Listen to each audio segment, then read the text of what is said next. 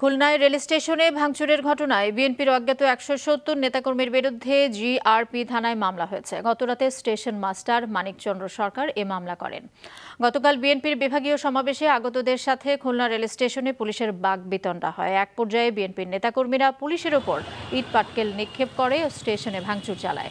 স্টেশনের অন্তত পঁচিশটি জানালা ও দরজার কাঁচ ভেঙে ফেলে তারা।